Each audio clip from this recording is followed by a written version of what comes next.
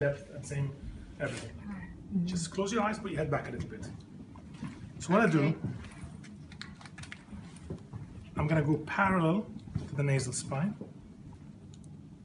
Well done. That's it. I can mm. feel the nasal spine now. Okay. And mm. aspirate.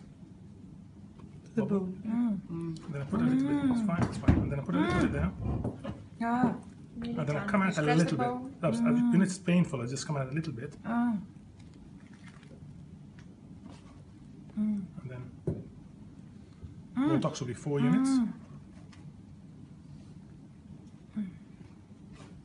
Tiny bit. And then massage it. And that will add more of an angle opening. So the angle now is about 110 degrees. Okay? Is it down to the bone? Yeah. And Feel the all nasal the way spine. Come out a little bit because if you stay on the nasal spine all the time, it becomes very painful. So come out a little bit. Mm-hmm. Put a little bolus. Mm-hmm. You can do a sandwich as well, a little bit, and come out a little bit more. And then once you put it in there, you massage it, and that will allow you more of a, a tip rotation and open the angle up a little bit. It's mm-hmm. beautiful.